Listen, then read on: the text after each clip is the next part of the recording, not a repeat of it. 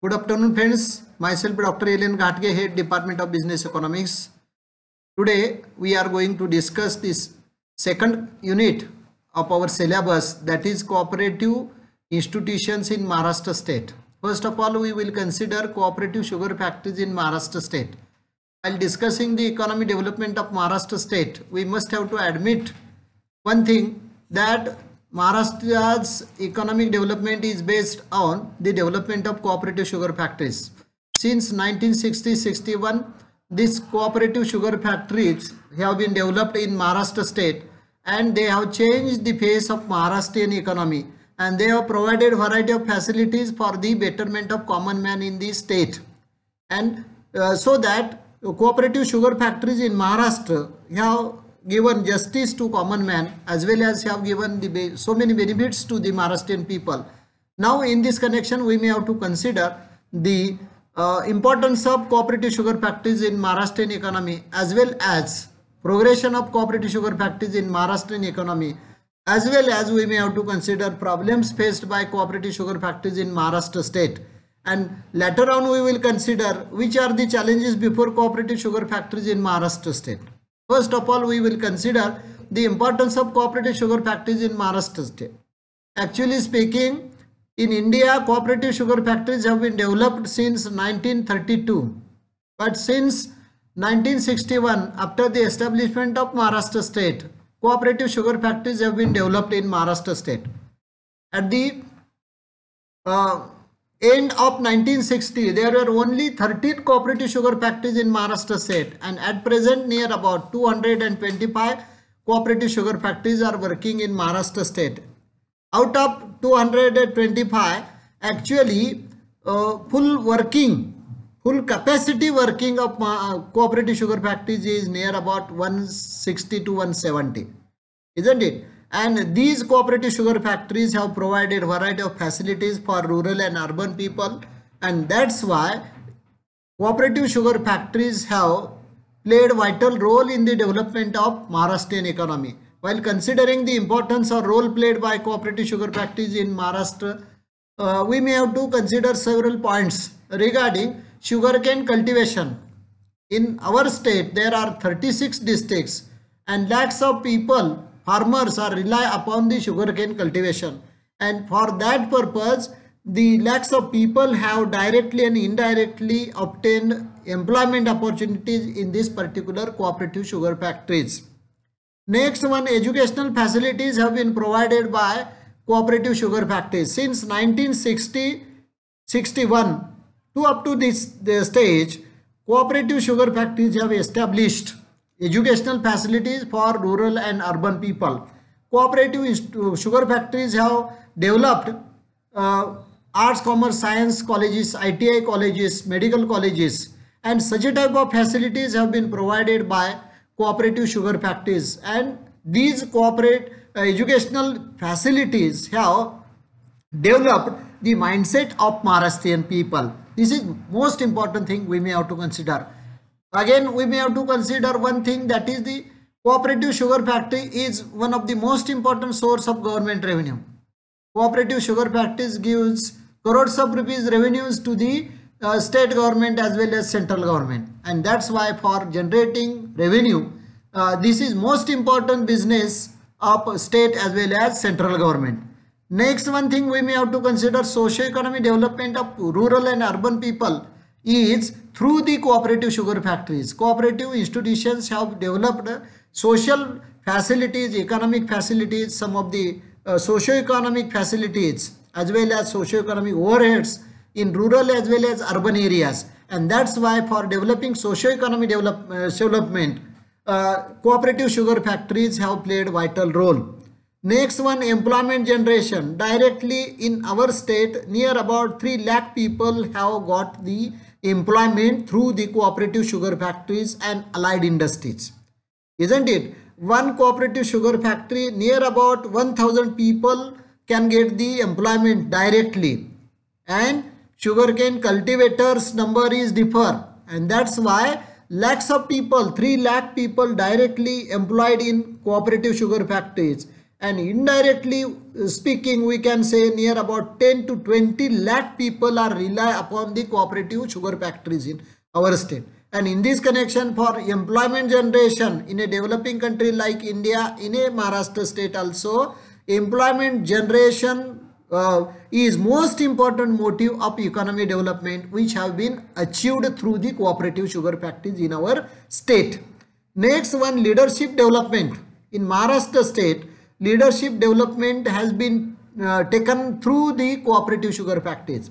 Majority of the cooperative leaders are the political leaders. And cooperative sugar factories, cooperative sector has provided the leadership in Maharashtra state. For example, Vasantdada Patil, as well as Vilasrao Deshmukh, Ratnapanna Kumbar, as well as Sushil Kumar Shinde, Yashwantrao Chavan. These are the persons who have uh, lead the Maharashtra government through the cooperatives.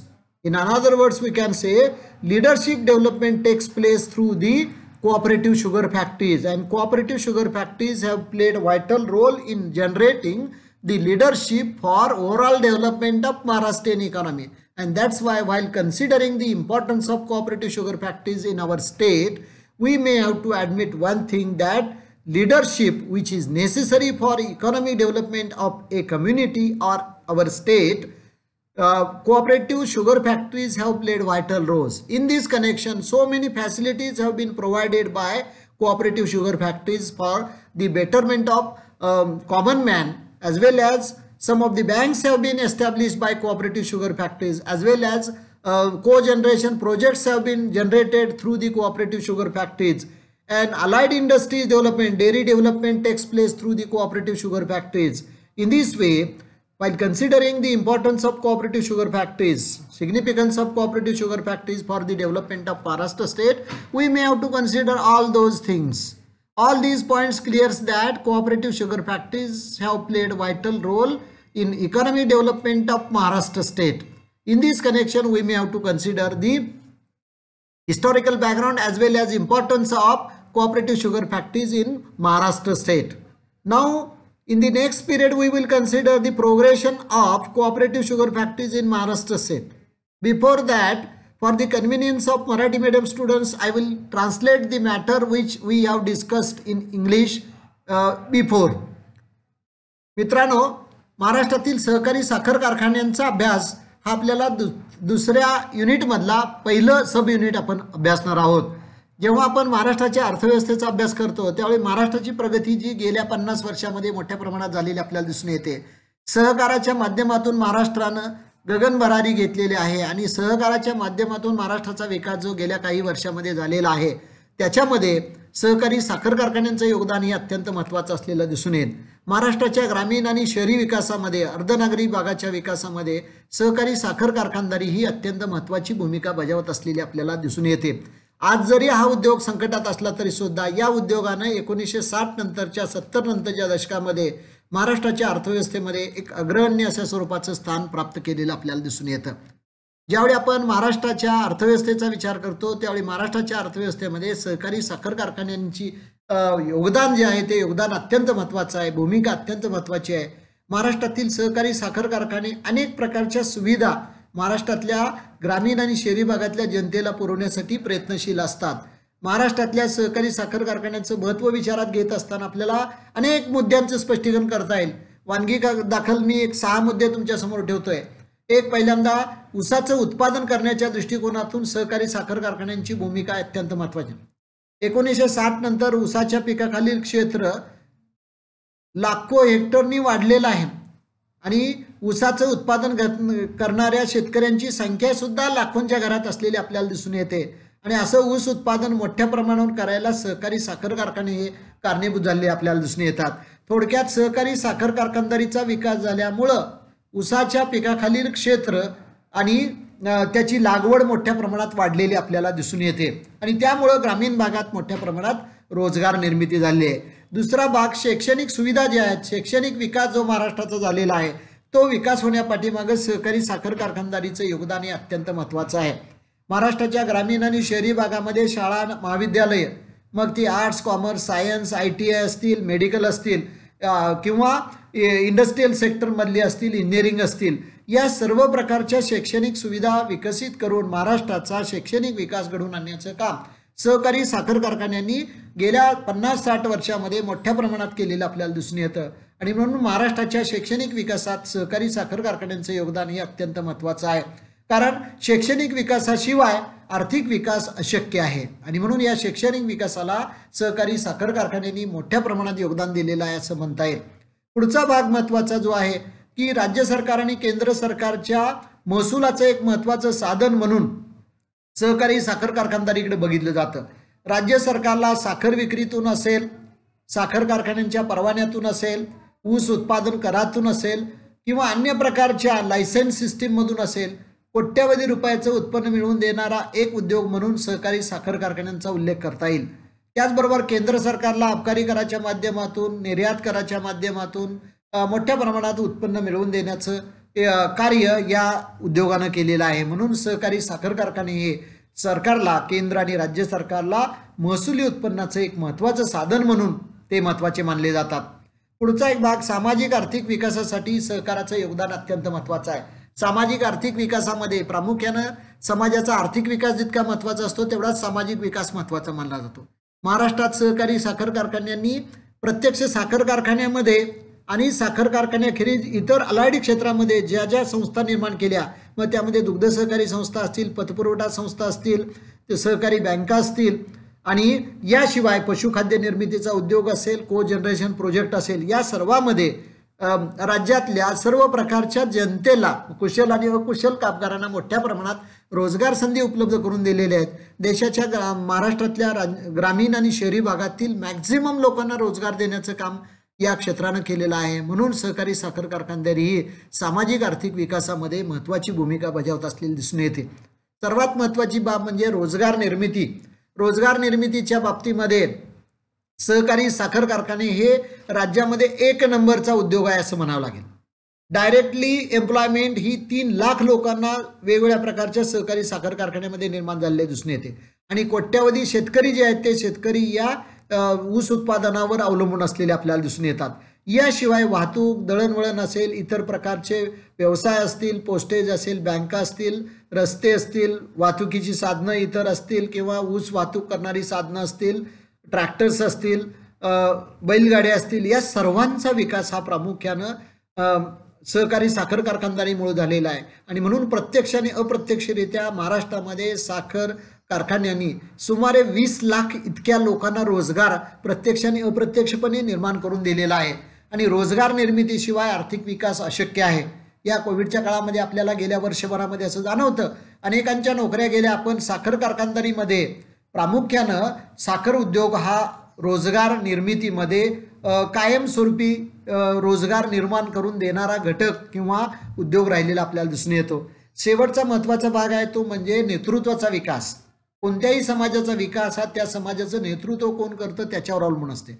आणि अशा प्रकारच्या नेतृत्वाचा विकास सहकारी साखर कारखानदारीच्या माध्यमातून झालेला दिसून येतो. महाराष्ट्रामध्ये अशा अनेक सहकारी नेतृत्वांची उदाहरणं आपल्याला देता येतील की ज्यांच्या माध्यमातून नंतर राज्याच्या आर्थिक विकासाला चालना मिळालेली दिसून येते. आता याच्यामध्ये आपल्याला वसंतदादा पाटील हे एक नाव घेता येईल. त्याच्यानंतर विलासराव देशमुख हे नाव घेता येईल. याच्यानंतर यशवंतराव चव्हाण घेता येईल. यशवंतराव मोहिते नाव घेता येईल. ही माणसं केवळ सहकार क्षेत्रात चमकली नाही तर त्यांनी आर्थिक राजकीय क्षेत्रात सुद्धा म्हणजे राज्याच्या आर्थिक विकासामध्ये राज्याच्या सर्वांगीण विकासामध्ये त्यांचं नेतृत्व हे सिद्ध केलेलं आपल्याला दिसून येतं. आणि म्हणून असे अनेक आमदार खासदार आपण जर बघितलं तर ते सहकार क्षेत्रामधून तयार झालेले आपल्याला दिसून येतात. मित्रांनो नेतृत्व हे विकास प्रक्रियेमध्ये अत्यंत महत्त्वाची भूमिका बजावत असतं. आपण यापूर्वी अभ्यासलेलं आहे पा नेतृत्वाशिवाय विकास अशक्य आहे. आणि मग अशा प्रकारचं नेतृत्व पुरवण्याचं काम महाराष्ट्रामध्ये सहकारी साखर कारखाने दिलेलं आहे. इतकंच नव्हे तर या पुढे जाऊन मी तुम्हाला असं सांगेन महाराष्ट्राच्या विधानसभेमध्ये जेवढे आमदार आहेत त्यातले तीन चतुर्थांश आमदार हे सहकार क्षेत्रामधून निवडून गेले. सहकार क्षेत्रातून मिळालेल्या ज्ञानातून त्यांना अशा प्रकारची राजकीय यश त्यांना प्राप्त झाले आपल्याला दिसून येतं. म्हणजे राज्याचा कारभार करण्याच्या दृष्टिकोनातून जे काय ज्ञान आहे जे नेतृत्व करण्याची शैली जी आहे ती सहकार क्षेत्रातून मिळालेली आपल्याला दिसून येते. आणि म्हणून राज्याच्या आर्थिक विकासाचा राज्याच्या राजकीय विकासाचा विचार करत असताना नेतृत्वाचा विकास हा सहकारी साखर कारखानदारीमुळे झालेला आपल्याला दिसून येतो. आणि म्हणून सहकारी साखर कारखाने हे राज्याच्या केवळ आर्थिक नाही सामाजिक नाही शैक्षणिक नाही तर सर्व प्रकारच्या उन्नतीचं एक साधन म्हणून सहकारी साखर कारखानदारे ही केवळ महाराष्ट्रातच नाही तर देशात महाराष्ट्र हे एक नंबरचं घटक राज्य सहकाराच्या बाबतीत जे मानलं जातं त्यामध्ये एक नंबरचा व्यवसाय आपला कुठला चालत असेल तर सहकारी साखर कारखानदारी आहे.